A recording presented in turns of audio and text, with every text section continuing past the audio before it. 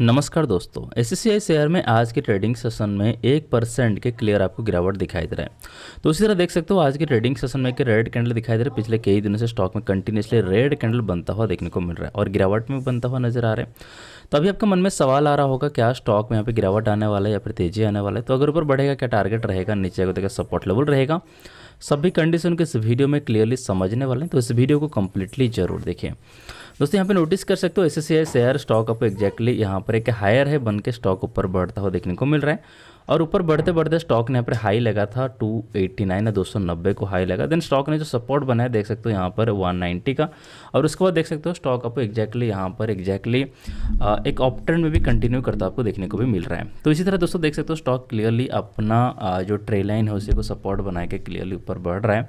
तो अभी कंडीशन को अगर आप समझेंगे तो आपको दिखाई दे रहा है ब्रेकआउट के बाद स्टॉक ने जो हाई लगा था आप नज़र आ रहा है यहाँ पर। तीन सौ तिरासी रुपये पचास पैसा को स्टॉक ने हाई लगाया।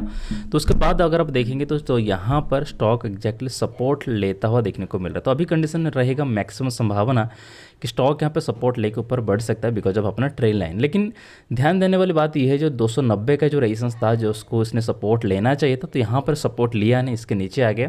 तो अभी यहाँ पे ट्रेन लाइन है लेकिन इंपॉर्टेंट मेरे हिसाब से दोनों इंपॉर्टेंट होने वाले मतलब पहला ट्रेन लाइन भी इंपॉर्टेंट है और अपने जो सपोर्ट लेवल है दो में ये भी इंपॉर्टेंट होने वाला है ठीक है? तो आपको देखना चाहिए, इन्हीं सपोर्ट लेवल के पास में कोई भी बुलिस कैंडलस्टिक पैटर्न बनना चाहिए। अगर बुलिस कैंडलस्टिक पैटर्न बन जाता है तो फिर स्टॉक में तेज़ी का मूवमेंट डेफिनेटली देखने को मिलेगा, ठीक है? तो ये ध्यान रखना है, बाकी बुलिस कैंडलस्टिक पैटर्न क्या होता है, अगर आपको नहीं पता गूगल में सर्च कर सकते हो, या फिर कंटिन्यूसली हमारे वीडियो देखते रहिए।